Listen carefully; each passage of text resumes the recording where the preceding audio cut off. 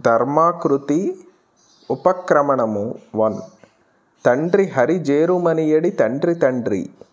నా చిన్నతనంలో అంటే పంతొమ్మిది వందల అరవై ఎనిమిది ఫిబ్రవరి అప్పుడు ఓ తొమ్మిదేళ్ళుంటాయేమో ఒకరోజు మా నాన్నగారు మా కుటుంబ సభ్యులందరినీ కంచి స్వామివారి దర్శనానికి విజయవాడ తీసుకుని వెళ్ళాలని సంకల్పించారు. మంటాడ సెంటరులో ఆ రోజున ఎందుకనో బస్సులు ఎంతో రద్దీగా ఉన్నాయి. ఎంతసేపు నుంచున్నా బస్సు దొరకలేదు. బండికి ఆరు రూపాయల చొప్పున గూడు రిక్షాలు మాట్లాడారు. బండికి నలుగురు ఐదుగురు ముప్పై ఐదు కిలోమీటర్లు నామభజన చేస్తూ విజయవాడ చేరేటప్పటికి మధ్యాహ్నం అయిపోయింది. వేలాది జనానికి స్వామివారు తీర్థం ఇస్తున్నారు. ఒకటే త్రొక్కిసలాటగా ఉంది. నిర్వాహకులు స్వామివారి ఎదుట జనాన్ని నుంచోనియడం లేదు. తీర్థం లైనులో నేను మా నాన్నగారి వెనుకనే ఉన్నాను. మా వంతు వచ్చింది. మా నాన్నగారిని చూసి స్వామివారు చిరునవ్వు నవ్వారు. మల్లెపూలు విచ్చినట్లు వెన్నెలలు కురిసినట్లు. తీర్థం ఇస్తూ కులాసాగా ఉన్నావా? అన్నారు. ఆ సందడిలో తీర్థం పుచ్చుకునే హడావిడిలో వీరికి ఆ మాట వినిపించినట్లు లేదు. అయినా వారు ఏదో అడిగినట్లు తెలుస్తూనే ఉంది. ఆలోచిస్తూ ఉండగానే నిర్వాహకులు తోసివేశారు. తరువాత అడిగారు ఏమిట్రా అంటున్నారు? అని తెలుసుకొని ఆ మహానుభావుడికి ఎంత గుర్తో అంటూ ఆశ్చర్యపోయారు మా నాన్నగారు. మరి ఆయనకు ఎందుకు ఆలోచన వచ్చిందో ఆ స్వామిని మా ఊరు తీసుకుని రావాలని ఆరు నెలలు తిరిగాడట ఓ రోజు సంధ్యావందనం చేస్తున్నావా అని ఇంకో రోజు రుద్రం వచ్చా అని మరో రోజు నూజివీడు రాజా రంగయ్య అప్పారావు గూర్చి మాట్లాడి స్వామి తిప్పుతూనే ఉన్నారు. ఈయన పట్టు వదల్లేదు తోడు మా పెద్దన్నయ్య ఎలా తిరిగారో ఎలా సాధించారో ఊళ్ళో సందడి మొదలైంది. పెద్దవాళ్ళంతా సమావేశాలు ఏర్పాటు చేసుకుంటున్నారు. స్వామివారు వస్తే ఎన్ని రోజులు ఉంటారు ఎంత ఖర్చు అవుతుంది ఎవరెవరు ఎంత వేసుకోవాలి? కొందరు తమకు ముఖ్య భూమిక కోసం ప్రయత్నిస్తుంటే మరికొందరు వెనుక ముందులాడుతున్నారు. మా నాన్నగారు అన్నారట డబ్బు విషయంలో చర్చ అనవసరం. ఊళ్ళోకి మహాపురుషులు వస్తున్నారు. మీరు నలుగురు వచ్చి నుంచోవడం కావలసింది. మీరేమిద్దామనుకుంటున్నారో అది మీ ఇష్టం. మిగతాది అది ఎంతైనా సరే నేను భరిస్తాను. పద్ధతి చూస్తే ఈయన ఏ కోటీశ్వరుడు అని భ్రమపడే అవకాశం ఉంది. అబ్బే పద్దెనిమిది ఎకరాల పొలం మూడు నాలుగు వందలు వచ్చే ఉద్యోగం ఎనిమిది మంది సంతానం నిత్యం కార్యకమరాతులు వచ్చిపోయే అతిథులు అతిథులు ఇది ఆయన పరిస్థితి. మరి ఏమిటి ఈయన ధైర్యం? ఈయన ధైర్యం గురించి స్వామివారే ఓ కథ చెప్పారు. రెండోసారి మా ఊరు వచ్చినప్పుడు స్వామివారు షాయపురం వెళ్ళారు. అక్కడి నుంచి తిరుగు ప్రయాణంలో లాంచీ కోసం ఎదురు చూస్తూ రైవస్ కాలువ ఒడ్డున కూర్చుని ఉన్నారు. స్వామివారి వద్ద విష్ణు పురాణం ఉంది. యాదృచ్ఛికంగా ఒక పేజీ తీశారు. అందులో ఒక కథ ఒక రాజుగారు ఉన్నారు. ఆయనకు మంత్రి చేతిలో ఎముకలేది మంత్రికి. దాన ధర్మాలు చేస్తూ ఉంటాడు. తన స్వంత డబ్బే కాదు. ఊరంతా అప్పులు చేసి కూడా రాజుగారికి ఎలానో ఈ విషయం చేరుకుంది. రుణదాతలనందరినీ పిలిచి అప్పు తీర్చివేస్తాడు. మంత్రితో మళ్ళీ అప్పులు చేయవద్దని చెబుతాడు. మళ్ళీ మంత్రి దాన ధర్మాలు అప్పులు మొదలు. రాజు తీర్చడం మానడు. పోనీ రాజుగారు రుణదాతలకే చెప్పవచ్చు కదా ఈ మంత్రికి ఇక అప్పులు ఇయ్యవద్దని? ఆయన అలా చెప్పరు. ఇలా సాగిపోతూ ఉంటుంది కదా కథ ఆపి సూటిగా మా నాన్నగారి కళ్ళల్లోకి చూశారు స్వామివారు. మా నాన్నగారి కళ్ళ నిండా నీళ్ళు. మరి ఆ రాజే ఈ మంత్రి ధైర్యం బలం. ఆ సంవత్సరం పంటలు విరగపండి. ధరలు బాగా వచ్చి ముప్పై వేల అప్పు తీర్చారట మా నాన్నగారు. సరి మా ఇంటికి కంచి స్వామివారు వస్తున్నారనే విషయం మాకు అర్థమైంది. మా కాలువ వైపు దొడ్డి గోడలు మా నాన్నగారింటి వైపు గోడలు బ్రద్దలు కొట్టేశారు. కాలువ దాకా పందిళ్ళు వేశారు. పెద్ద మంటపం కట్టారు. దానిపై కత్తిరిపాక వేశారు. అక్కడ పూజ పెడతారట. పెద్ద గదిలో పెద్ద స్వాముల వారు ఉంటారట. పెద్ద నాన్నగారింట్లో చిన్న స్వాముల వారు ఉంటారట. ఆ రోజు ఉదయం నుంచే బళ్ళు రావడం మొదలుపెట్టాయి. ఊరు మీద ఊరు వచ్చి పడినట్లయింది. ఎడ్ల బళ్ళు గుర్రం బళ్ళు ఏనుగులు పరివార జనం ఊళ్ళో ఉన్న అన్ని ఇళ్ళల్లోనూ అరుగుల మీద ఆయా యజమానులతో వారే మాట్లాడుకుని సర్దుకుంటున్నారు. కోటవారింట్లో రావి చెట్టు కింద ఏనుగులని కట్టివేశారు. కాలువ అవతలి దొడ్లో ఆవులు రోడ్డు మీద బళ్ళ పక్కనే గుర్రాలు ఏనుగులకు చెరుకు చాలలోంచి చెరుకు గడలు కొట్టి తెచ్చి పడేశారు మా అందరికీ ఎంత పని? ఆవులకు గడ్డివాములోంచి జనపకట్టలు తీసి అందించాలా? తమాషాగా పచ్చగడ్డి మేస్తున్న గుర్రాలనే చూడాలా? చెరుకు గడల్ని తింటున్న ఏనుగుల్నే చూడాలా? మాకు కాళ్ళు చేతులు ఆడటం లేదు. సాయంకాలానికల్లా వెదురు బుట్టలలో అమ్మవారిని అయ్యవారిని తీసుకుని మఠ పండితులు రామ్డోలు మూతతో రానే వచ్చారు. మా అమ్మ వాళ్ళంతా హారతులెత్తారు. అప్పటికే మేమంతా మా చుట్టాలందరితో సహా ఇల్లు ఖాళీ చేసేసి మా పిన్నిగారి అద్దుకుంటున్న ఇంటికి వెళ్ళిపోయాం. మా మావయ్య గారింట్లోనేమో బ్రాహ్మణ సంతర్పణకి ఏర్పాటు చేయబడింది. అయ్యవారు అమ్మవారు వచ్చారో లేదో ఇల్లంతా మడి అయిపోయింది. ఇంట్లోకి మాలాంటి చిన్నపిల్లల్ని అనుమతించరు. మటంలో నిప్పులు కడిగే ఆచారం మరి. లారీలు రా లారీలుగా సామాను దిగుతున్నాయి. ఇంత సంపత్తుకి అధిపతి రాత్రి పొద్దుపోయిన తరువాత లాంచీలో వచ్చారు. లాంచీకి లంగరు వేసి ఒడ్డున ఉన్న పందిరి ఘాటకి కట్టివేశారు. పైన మేనా పెట్టబడి ఉంది. తెల్లవారుజామున మేమంతా కాలువలోనే ఒక ముసుగు ముసు మునుగు ముసిగి మునిగి విభూతి పెట్టుకుని కాలువ ఒడ్డున నుంచున్నాం. ఆడవాళ్ళు హారతులివ్వడానికి ఏర్పాట్లు చేసుకుంటున్నారు. ఇంతలో లాంచీలో కలకలం. పరిచారక వర్గం బ్యాటరీ లైటులతో దారి చూపుతుంటే సువాసినులందరూ హారతులెత్తగా కోటి చంద్రుల ప్రకాశంతో చంద్రశేఖరులు నేరుగా ఒడ్డుపై కాలు పెట్టారు. ఆహాహా! ఈ కాంతి ఏమిటి? ఈ ప్రకాశం ఏమిటి? కళ్ళు మిరుమిట్లు గొలుపుతున్నాయి. వెన్నెలలు కురిపించిన ఆ చిరునవ్వు అమృతం చిలికించిన ఆ చిరునవ్వు నా స్మృతి పదంలో ఈ రోజుకి నిత్యనూతనంగా వెలిగిపోతూనే ఉంది. ఎవరో అందుకున్నారు. చంద్రశేఖర చంద్రశేఖర చంద్రశేఖర పాహిమాం అంటూ అదిగో ఆ క్షణం నుంచి మా ఆరాధ్య దైవం స్వామి మాకు తెలిసిన ఒకటే దేవుడు మా స్వామి. ఏ కోరిక తీరాలన్నా అది చాలా చిలిపి కోరికే కావచ్చు. ఏ భయం వేసినా అది అర్థం లేని భయమే కావచ్చు. చంద్రశేఖర పాహిమాం అన్నదే మా మంత్రం. ఈ రోజుకి కూడా ఎలాంటి ఇబ్బంది వచ్చినా అసంకల్పితంగా నా మనస్సు చంద్రశేఖరుల పాదాలను ఆశ్రయిస్తుంది. ఆ పాదాలు నన్ను ఎక్కడ నుంచి ఎక్కడకు తీసుకుని వెళుతున్నాయో నాకు తెలుసు. మాకేమైనా పెద్ద చదువులున్నాయనా? కోట్ల ఆస్తులున్నాయా? అయినా ఎంత వారి ముందైనా తలవంచక ఆత్మాభిమానంతో అనుగ్రహించే వరకు ఆత్మాభిమానంతో అనుగ్రహించే వరకు ఆ పాదాలు మమ్మల్ని ఆదుకుంటూనే ఉంటాయి. తరువాతి కాలంలో మా అమ్మ నాన్నగారు అనేకసార్లు శ్రీవారి దర్శనానికి ఒకరిద్దరు పిల్లల్ని వెంట పెట్టుకుని వెళ్ళి వస్తుండేవారు. వస్తూనే పిల్లలందరం చుట్టూ చేరేవారం. స్వామివారి ప్రసాదం ఇచ్చేవారు. మా అమ్మకి ఏ విషయమైనా పూసగుచ్చినట్లు చెప్పే నేర్పుంది. స్వామివారి గురించి అడిగి అడిగి చెప్పించుకునేవాళ్ళం.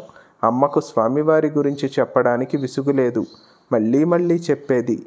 ఈ ఐదడుగుల తెల్ల గుడ్డపు ముసలి స్వామి మా ఇంటిలో అణువణువున నిండిపోయారు. ఆ స్వామి కరుణ ఒలికే కళ్ళు చిరునవ్వు తల చేతులు కదిలించే విధానం ఒకటేమిటి? ఆయనకు సంబంధించిన ప్రతి విషయంపై మాకు వ్యామోహమే. ఇంట్లో కృతయుగం ప్రతిష్ఠితమైంది. ఒడుగులైన వాళ్ళంతా సంధ్యావందనాలు మిగతా వాళ్ళు ధ్యానాదులు. ఇలా ఇది మా ఒక్క ఇంటి చరిత్రే కాదు. శ్రీవారి ఆంధ్ర పర్యటనలో అనేక వేల మంది ఇళ్ళల్లో స స్వకర్మానుష్ఠానం ఇలా ఒక విప్లవంగా మొదలైంది. ఇంకా కొనసాగుతూనే ఉంది. కాషాయం కట్టుకుని వెదురు దండం చెక్క కమండలం పట్టుకుని తిరిగే ఈ ముసలిస్వామి ఆ విప్లవ నాయకులు. ఒకరోజు తెల్లవారుజామున లేచి ముఖం కడుక్కుని ప్రార్థిస్తూ అంటే మా ఇంట్లో ఒడుగు అవ్వని వాళ్ళకి మంత్రమైన చంద్రశేఖర పాహిమాం చంద్రశేఖర రక్షమాం మంత్రాన్ని స్మరిస్తూ మంచం మీద కూర్చున్నాను. అప్పటికే మా నాన్నగారు అన్నయ్యలు సంధ్యావందనం మొదలుపెట్టేశారు. ఇంతలో కళ్ళు మూసుకుని స్వామినామాన్ని స్మరిస్తున్న నాకు తల మీద ఏదో నాడి కొట్టుకున్న స్పష్టమైన సవ్వడి. ఒక్కొక్కసారి నాడి కొట్టుకుంటున్నప్పుడల్లా మిరుమిట్లు గొలిపే కాంతి బంగారు రంగులో మిలమిలలాడే కాంతి దూరంగా ఒక వ్యక్తి కాషాయాంబరదారి ముఖం మాత్రం రాముని ముఖం. చేతిలో కోదండమా ఏమో నడిచి వస్తున్నారు. నేనెవర్ని అంటూ స్వామి మీరు రాముడన్నాను. అయితే ఆ ముఖం ఇప్పుడు కృష్ణు కృష్ణునిదిలా అనిపిస్తోందే. చేతిలోనిది వేణువా? మళ్ళీ అడిగారు ఆయన నేనెవర్ని అంటూ కృష్ణుడన్నాను శివుడన్నాను అమ్మవారన్నాను చివరకు ఏదో స్ఫురణ. అది ఆయనే ప్రసాదించారు. అన్నీ మీరే స్వామి అన్నాను. అదిగో సరిగ్గా అదే క్షణంలో నా స్వామి దండ కమండలదారి అయి యవ్వనంతో తడతల్లాడిపోతూ దర్శనమిచ్చారు. నేను చూసినది ముసలి స్వామి. ఈ నవ యువకుని నేనెలా గుర్తుపట్టానో? బహుశా మొన్న మొన్నటిదాకా నీ దర్శనానికి వెళ్ళినప్పుడల్లా నన్ను చూసి పెద్ద పెద్ద మాటలు మాట్లాడే పసిబాలుణ్ణి చూసి తల్లి నువ్వే ఏ అబ్బురపు కొంటె నవ్వు నవ్వేవారో ఆ చిరునవ్వు చూసి గుర్తుపట్టానేమో. మా అమ్మకి ఏదో గ్రహబాధ చాలా కష్టపడింది. ఓ రోజు స్వప్నంలో స్వామి దర్శనం అయ్యింది. అప్పటికి వారిని ఆమె చూడలేదు. ఆ స్వప్నం తరువాత గ్రహబాధ పోయింది. మొట్టమొదటిసారి అంబిలో దర్శించినప్పుడు ఈ విషయం స్వామితో విన్నవిస్తే ఆయన అన్నారట అది నేనే అని నీకెలా తెలిసింది? అమ్మ ఏమంటుంది? అప్పుడు తెలియలేదు స్వామి.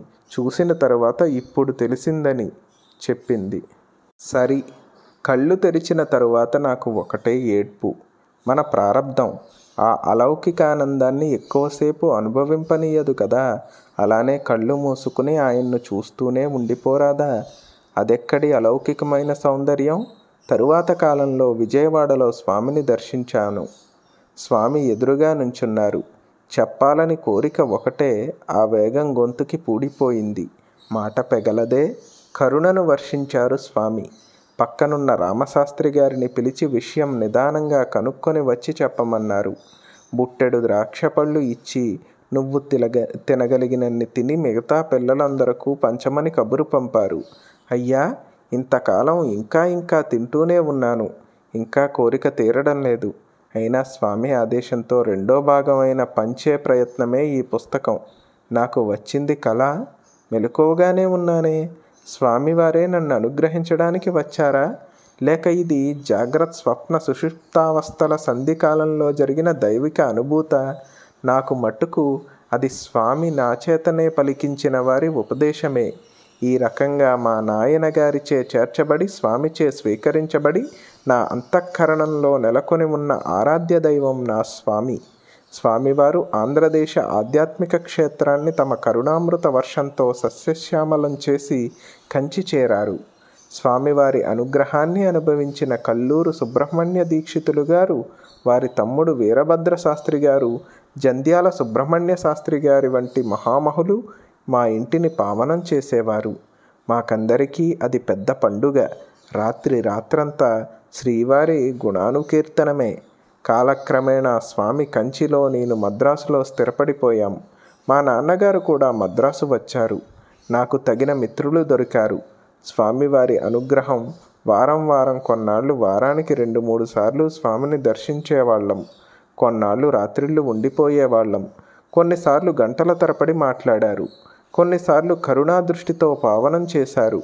ఒక్కోసారి తల పంకించేవారు మరోసారి చెయ్యెత్తి ఆశీర్వదించేవారు. ఒక్కొక్కసారి ఒక్కో అనుభూతి ఒక్కోసారి ఒక్కో తృప్తి. అనేక మంది అంతరంగిక భక్తులతో పరిచయం ఏర్పడింది. స్వామివారి గురించిన అనేక కథలు వృత్తాంతాలు తెలిసాయి ఈ ఐదడుగుల ముసలిస్వామి వ్యక్తిత్వం ఇంతింతై అన్నట్లు అంతా నిండిపోయి నన్ను ఆశ్చర్యమగ్నుణ్ణి చేస్తూనే ఉంది. కంచి నుంచి వస్తూనే మా ఇంటి డాబా మీదనే ఉన్న మా నాన్నగారి వద్దకు సూటిగా వెళ్ళేవాడిని. సాధారణంగా మా నాన్నగారు ఆ సమయంలో స్వామివారి పాదుకలను ముందు పెట్టుకుని జపం చేసుకుంటూ ఉండేవారు. నే వెళ్ళగానే జపం సగంలో ఆపి ఎంతో ఆనందంగా అబ్బురంగా వినేవారు. మా అమ్మ అన్నయ్య తమ్ముడు అందరూ చేరేవారు. ఈ పుస్తకం రాస్తున్నంతసేపు స్వామిని త్రికరణ శుద్ధిగా నమ్మి ఆయన తరించడమే కాక మాకు చూపి ఆయనని నమ్ముకోవచ్చని చెప్పిన మా నాన్నగారు నే రాసేవన్నీ జపమాల సగంలో ఆపి వింటూ ఉన్నట్లే అగుపిస్తున్నారు. ఆ ఆనందం ఆ భక్తి ఆ ఆశ్చర్యం అబ్బురపాటు ఆ గగుర్పాటు నా కళ్ళకు కట్టినట్లు కనిపిస్తున్నాయి. మా నాయనగారు కపాల మోక్షం జరిగి గతించారు. బ్రహ్మలీనులైపోయి ఉండాలి. లేకుంటే బ్రహ్మలోకంలో స్వామివారి పాదుకలను ఎదురుగా ఉంచుకుని సాధన చేస్తూ ఉండాలి. బ్రహ్మలోకంలో ఇంకా సాధన చేస్తూనే ఉన్నట్లయితే నే రాసే శ్రీవారి చరిత్ర అంతా శ్రీవారి పాదుకల సాక్షిగా వారు వింటున్నారు. అదే ఆనందం అదే భక్తి అదే ఆశ్చర్యం అదే గగుర్పాటులతో. ఈ భాగంలో నేను స్వామివారి ఆవిర్భావం వీరిని ప్రభావితం చేసే అంశాల గురించి వారు పరిపూర్ణులుగా గుర్తించబడిన పంతొమ్మిది వందల పంతొమ్మిది వరకు రాశాను. పరిశిష్టంలో స్వామివారికి పరమాదర పాత్రులైన ఇద్దరు మహాపురుషుల్లో వారి సంబంధాన్ని గూర్చి రాశాను. శ్రీవారు కామాక్షి అవతార విశేషమని పరిణామానికి తావులేని పరిపూర్ణులని నేను నమ్ముతాను. అయితే నీ రాసిన దానిలో తమ ఆచరణ అనుష్ఠానాల ద్వారా పరిణతి చెంది జీవన్ముక్తత్వం సాధించిన మహాపురుషునిగా చిత్రించడానికి ప్రయత్నించాను. ఎంత ప్రయత్నించినప్పటికీ వారి అవతారతత్వం నా భాషలో చొచ్చుకొని వచ్చి ఉండవచ్చు. మహిమలు ప్రదర్శించడం ఇష్టం లేకపోయినా తమ ప్రమేయం లేకుండానే వెలువడిన దైవీ శక్తులను తపో విశేషములను ఆయన ఆపుకోలేకపోయారు కదా!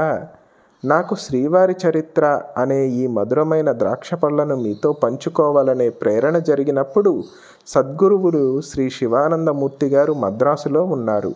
నా అభిప్రాయాన్ని వారికి మనవి చేశాను. శ్రీకృష్ణుని తరువాత హైందవ సంస్కృతిని సమగ్రంగా అర్థం చేసుకుని ఉపదేశించిన బహు కొద్దిమంది మహాపురుషులలో కంచిస్వామి ఒకరు అని చెబుతూ శ్రీవారి గురించి మీరు చెబుతుంటే నాకెంతో ఆనందంగా ఉంది. ఇంకా ఇంకా వినాలనిపిస్తుంది. రాయండి అని ప్రోత్సహించారు సమకాలీన సాంఘిక రాజకీయ విషయాలపై శ్రీవారి మార్గదర్శకత్వాన్ని ఎత్తి చూపుతూ రాయవలసిందిగా ఆదేశించారు. ఈ భాగంలో ఆ వివరాలు రాలేదు. మిగతా భాగంలో విస్తృతంగా వివరించడానికి ప్రయత్నిస్తాను. రాయాలని కోరిక. గురువుగారి ఆదేశమే వారి ఆశీస్సు అని అది సిద్ధిస్తుందని సంప సంపూర్ణంగా విశ్వసిస్తున్నాను. వారికి నా హృదయపూర్వక నమస్కారములు అర్పిస్తున్నాను. సాధారణంగా ఒకరిని గొప్పవారిగా గుర్తించి దేశమంతా పొగుడుతుంటే వారిని విమర్శ చేయడానికి కొంతమంది బయలుదేరతారు.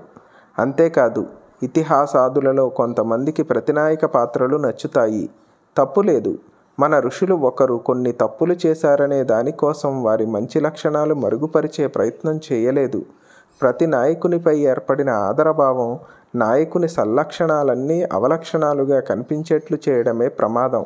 ఇంకా పురాణ పురుషులలో దోషాలు వెతకడం ప్రతి నాయకుని జాతి తమ జాతిగా పరిగణించి నాయకునిపై వారిదని వీరి వీరిని వీరిని ఉంటుకున్న జాతిపై సల్లక్షణాలపై ధ్వజమెత్తడం ఒక ఫ్యాషన్ అయింది. ద్రావిడ ఖజగం వారు రావణుడే దేవుడన్నారు. బ్రాహ్మణులంతా ఆర్యులే అనే వీరికి మరి రావణుడు బ్రాహ్మణుడనే విషయం అవగతం కాలేదు. ప్రాచీన పద్ధతి అంతా అణచివేతకు ప్రాతిపదిక అన్నారు. కానీ ప్రాచీన పద్ధతి నాయకుడైన స్వామివారిని మాత్రం ఎంతో మర్యాద చేశారు. అన్నాదురై లాంటి వారు ముఖ్యమంత్రిగా ఉన్నప్పుడు జాతీయ రహదారిపై స్వామివారు ఎదురుగా కాలినడకన వస్తున్నారని తెలిసినప్పుడు తన కార్లను రోడ్డు పక్కన పెట్టించి తాను బయట నుంచుని స్వామివారు వెళ్ళేదాకా కారే ఎక్కలేదు.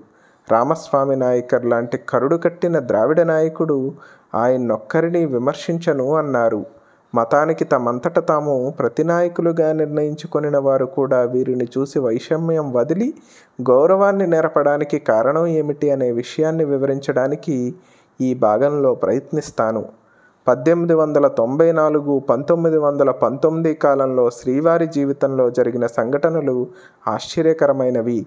నేను రాసినవే కాక ఇంకా చాలా విని ఉన్నాను. అయితే ఇంతవరకు ప్రచురించబడిన పుస్తకాల నుంచి శ్రీవారి గురించి తెలిసిన పెద్దల నుంచి ధృవీకరించుకోవడానికి కుదరలేదు. పరిశిష్టల్లోని వ్యాసాలు తయారు చేయడానికి రమణాశ్రమం పుస్తకాలు ముఖ్యంగా సూరినాగమ్మ గారివి శృంగేరి స్వామివారి దివ్య చరిత్ర ది మిస్టింగ్ అండ్ సీర్ అంటే శ్రీ నటరాజన్ రాసినది రా గణపతి గారి వ్యాసాలు ఉప ఉపకరించాయి. శ్రీ భరణీధరన్ ఎంతో సమయాన్ని వెచ్చించి అనేక విషయాలు తెలిపారు. పై గ్రంథకర్తలందరికీ నా కృతజ్ఞతలు.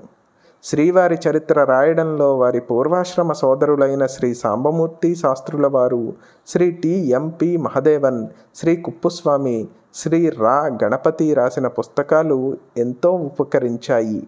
ఇంకా శ్రీ వైద్యనాథన్ బాలు కాశీకన్నన్ డన్లప్ కృష్ణన్ వంటి వారి వద్ద విన్న అనేక విషయాలు ఊటంకించబడినవి. వారందరినీ కృతజ్ఞుడనై ఉన్నాను. పీఠాధిపత్యపు తొలి రోజు సంఘటనలు కొన్ని శ్రీ చరణ శరణయతులు రాసిన శంభోర్ మూర్తిహి అన్న సంస్కృత వ్యాసము నుంచి ఉటంకించబడ్డాయి. ఆ పరివ్రాజకులకు నా సాష్టాంగ ప్రణామములు. వీనిని అనువదించి ఇచ్చిన ప్రియమిత్రులు శ్రీ సామవేదం షణ్ముఖ శాస్త్రి గారికి కృతజ్ఞతలు. ప్రచురణ విషయం అంతా మా తమ్ముడు చిరంజీవి సురేష్ మీద పెట్టి నేను నిశ్చింతగా ఉన్నాను.